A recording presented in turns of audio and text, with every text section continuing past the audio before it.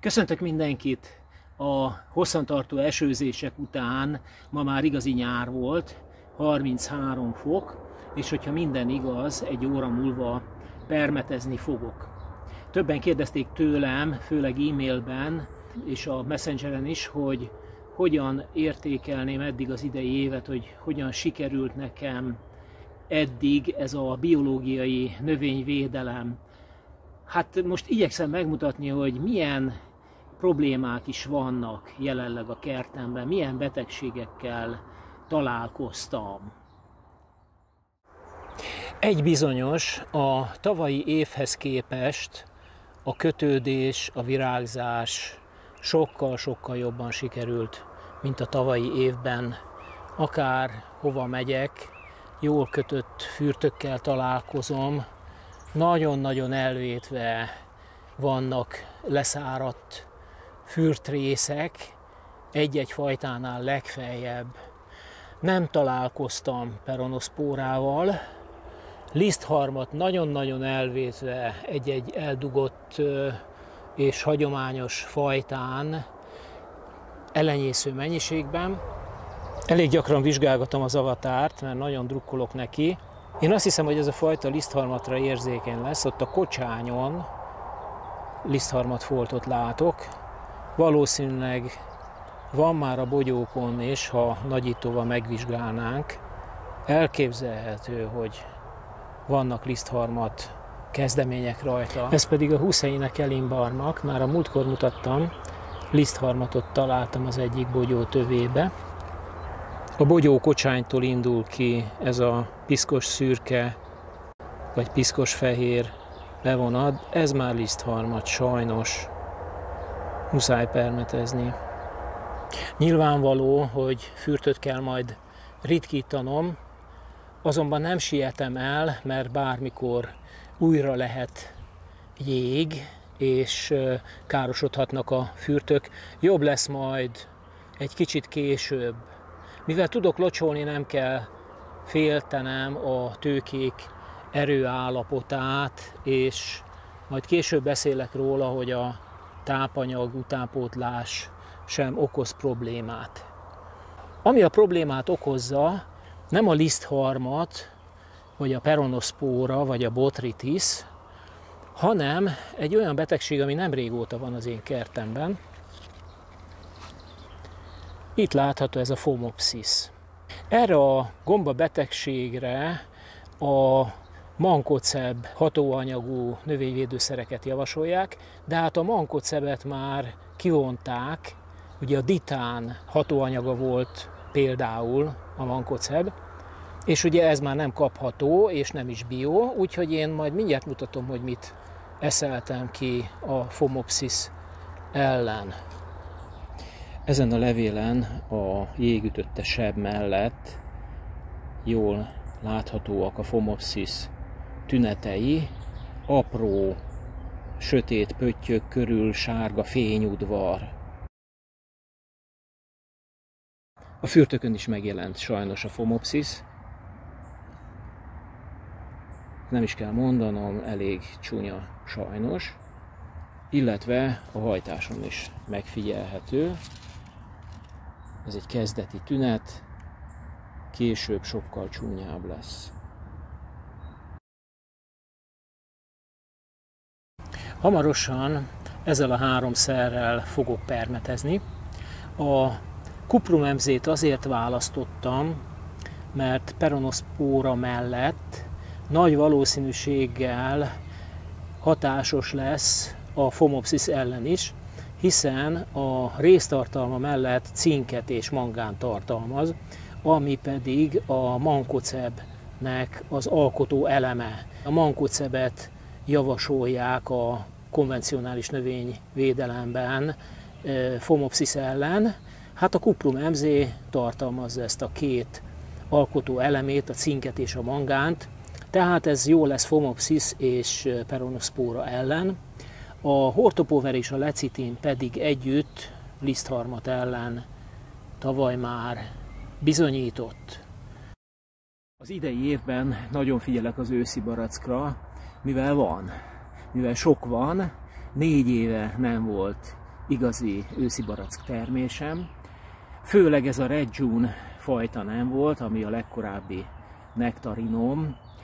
Nagyon örülök neki, bár már sokat leszettem a fáról, van még rajta, mivel annyira örültem, hogy terem, hogy nagyon finoman ritkítottam, vagyis hát túl sokat hagytam rajta. Nagyon finom nektarin, nagyon szeretjük, de nagyon kényes. Tafrinára, fagyra érzékeny, és levélbetegségek is, főleg a stigmina megtalálható a leveleken. A Red June után érésben ez a fehér húsú őszi barack következik, ez a Genadix 4. Ebből is van két fám.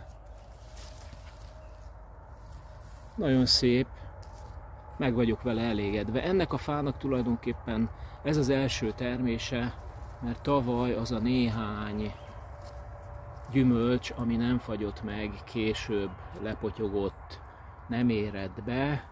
Most azonban, mint fiatal fa, hozott egy szép kis termést. Lassan már őt is lehet szedni. Igazából a hangyáktól, poloskáktól és rózsabogaraktól kell megvédeni, és hát nyilvánvaló, hogy valami nagyon egyszerű biológiai növényvédőszer jöhet csak szóba. Többször használtam már ezt a Bioka Urtika nevezetű csalán kivonatot, méghozzá magasabb dózisban, tehát 40 vagy 50 ml tettem 10 liter vízhez, és hatásfokozóként ugye javasolják a biológiai szakemberek a boroil hozzáadását, mint hatásfokozó, tapadó szert, 10 literhez 10 ml szükséges. A bioka urtika a rovarokra is riasztó hatással van, tehát repellens hatású, csak úgy, mint a boroil, és ugye ez a csalán különféle levélbetegségek, gombák ellen is hatásos, szőlőben is fogom majd használni.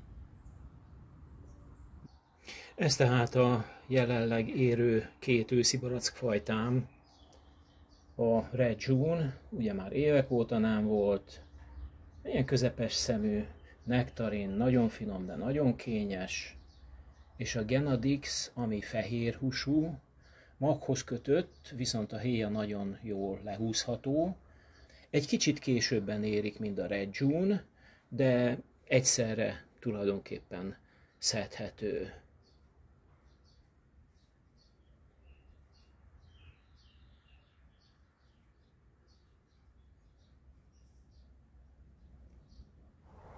Nem is olyan régen elég komoly jeget kaptam. Nagyon sok bogyót kiollóztam a fürtökből, természetesen nem lehetett mindegyiket, és sok ilyen még visszamaradt. Hát ezt a jégverés tünetet ugye össze lehet keverni, akár az antraknózissal, akár a fekete rothadással, de nem az természetesen, ez jégverés, majd mindjárt mutatom a különbséget. Vizsgálgatom természetesen a bogyókat. Ez már talán antraknózis lesz, és nem jégverés, mert olyan furcsa helyen van a bogyó, de hát ugye a jég miatt nagyon nehéz megmondani, és nagyon nehéz elkülöníteni, hogy melyik az antraknózis, és melyik a jég okozta seb.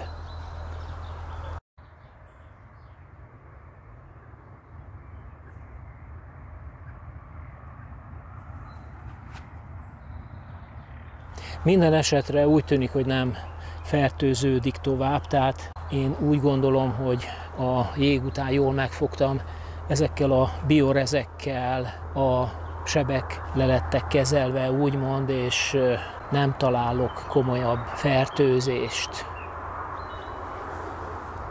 Ezen a levélen a fekete rothadás tünetei láthatóak, szerencsére nem súlyos mértékben, Ugye nem az egész levél fertőzött, hanem csak ez a néhány kis folt, tehát ilyen világos, barnás-vörös foltok és körül sötét szegély.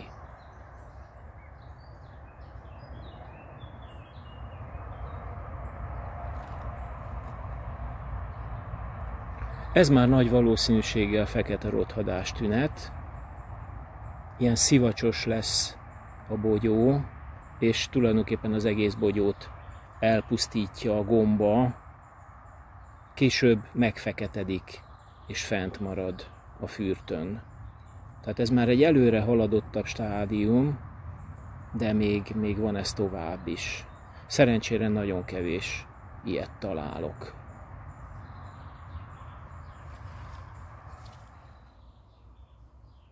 Ezen a levélen is jól láthatóak a gombák próbálkozásai, de az is látható, hogy az általam használt kétféle réz milyen jól megtapadt a levélen, és nem hagyja elhatalmasodni a gomba betegségeket. Ugye itt a skúdót és a kuprumemzét együtt használtam.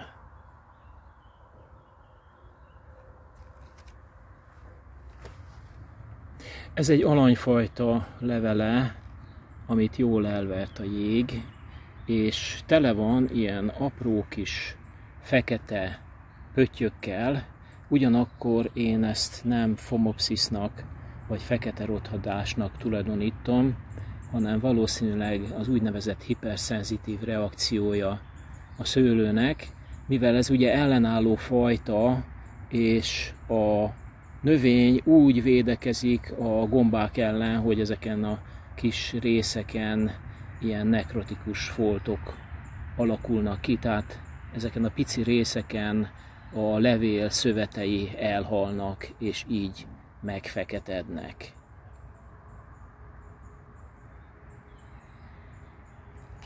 Összegezve tehát egy kicsit a dolgot, vannak betegségek a kertemben, mint ahogy minden évben megjelennek a különféle gombák, betámadnak, de eddig szerencsére komoly kárt nem tudtak okozni.